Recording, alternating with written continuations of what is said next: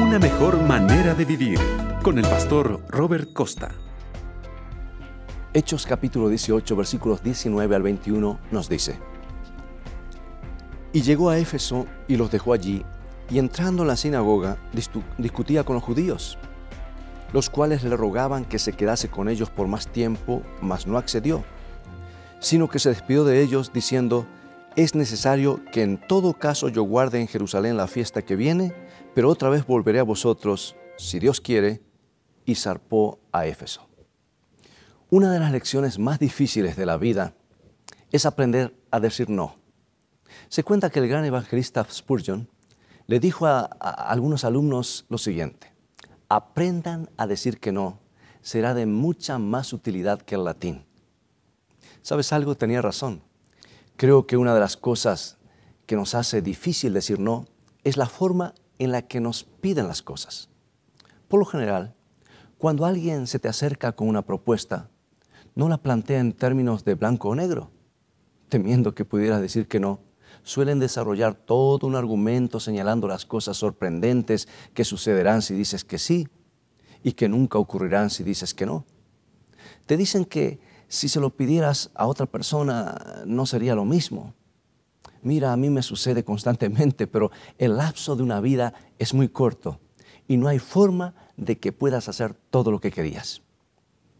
Cuán importante es tener una estrategia de vida basada en los sólidos principios de la Biblia y en el plan de Dios para tu vida, por el cual oras y llegar a tener la certeza de que Él está guiándolo todo. Tus prioridades deben ser todas aquellas actividades que te mantendrán en la senda del llamado divino para ti. Considera por unos momentos lo que sucedió cuando Pablo dijo que iba a empacar sus cosas y partir.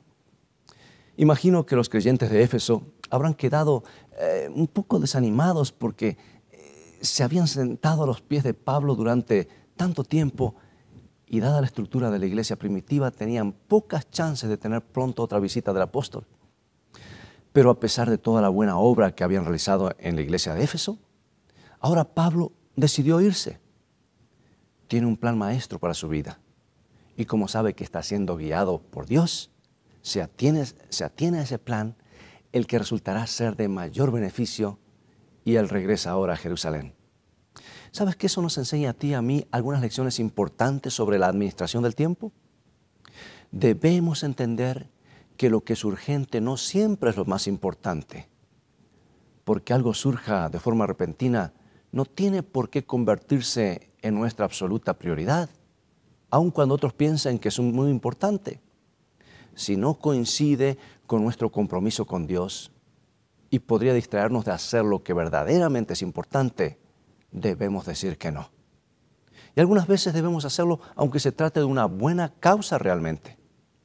Yo sé por experiencia propia lo que sucede cuando no hacemos que eh, nuestro compromiso con Dios sea nuestra principal prioridad. Nuestro tiempo se consume inexorablemente y nunca conseguimos hacer las cosas importantes, poniendo en riesgo hasta nuestra propia salud.